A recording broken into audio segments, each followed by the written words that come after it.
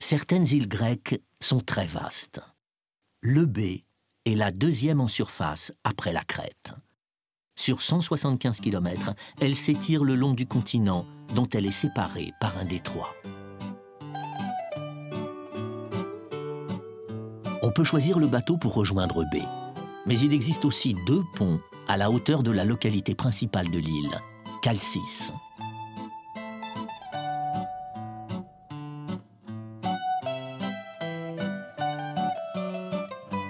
À cet endroit, les rives se rapprochent fortement.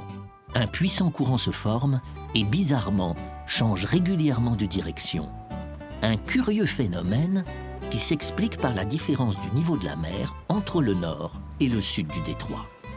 D'après une légende, le célèbre philosophe Aristote s'y serait noyé, désespéré de ne pas avoir élucidé l'énigme.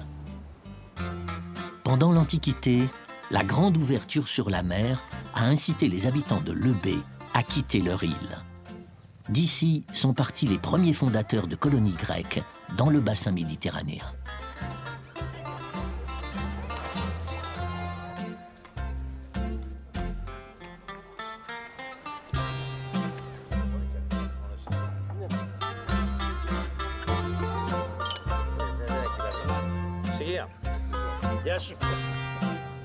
Mais l'ouverture sur la mer n'est pas la seule raison qui a poussé les Grecs de l'Antiquité à s'exiler pour fonder des colonies en Méditerranée.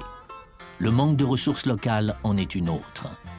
Le B est une île très montagneuse. Des régions entières sont inaccessibles à l'agriculture et à l'exploitation du sol.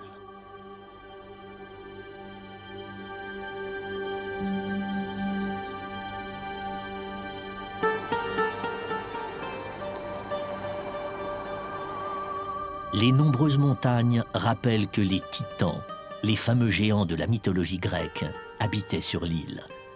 Ils se défendaient à coups de rochers. À plus de 1700 mètres se hisse le point culminant de l'île. Le climat est doux en Eubée. De plus, les collines sont couvertes de fleurs au printemps. Deux conditions favorables aux abeilles. Elles produisent ici un des meilleurs miels de Grèce. Les références au miel sont courantes dans toute l'Antiquité. Le dieu Eros, le dieu de l'amour, trempait ses flèches dans du miel avant de les lancer. Chez les anciens Grecs, le miel assurait l'unique apport en sucre. Théophilos Balatsos. Ce que vous voyez ici, c'est du miel de pain. Mais il y a beaucoup d'autres sortes de miel. Le pâturage libre fait partie de la tradition en Grèce. Les animaux peuvent circuler sans contrainte à la recherche de nourriture. Les troupeaux se résument souvent à quelques têtes, destinées aux besoins des familles.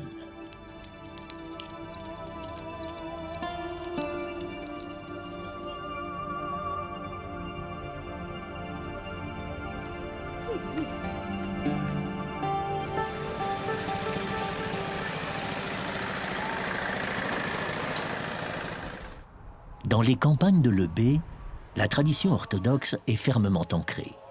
L'Église orthodoxe honore un très grand nombre de saints. Certains d'entre eux bénéficient d'une exceptionnelle notoriété. C'est Saint Ioannis le Russe. Son église est ici et on vient du monde entier pour le vénérer.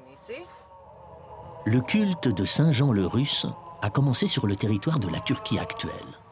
Au XXe siècle, ses reliques ont été transférées dans la localité de Procopie, où il fait l'objet d'une fervente dévotion.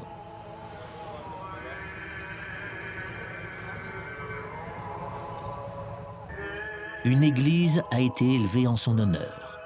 Le jour de la Pentecôte est un point fort du calendrier liturgique.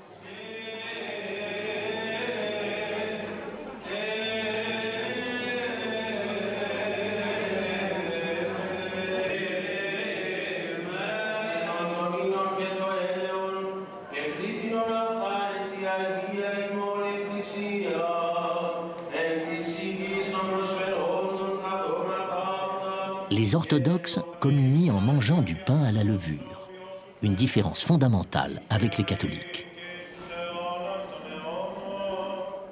Après la cérémonie, le pain béni est distribué aux fidèles. Ça s'appelle artos, ça signifie pain en grec ancien. Il s'agit de gros morceaux de pain.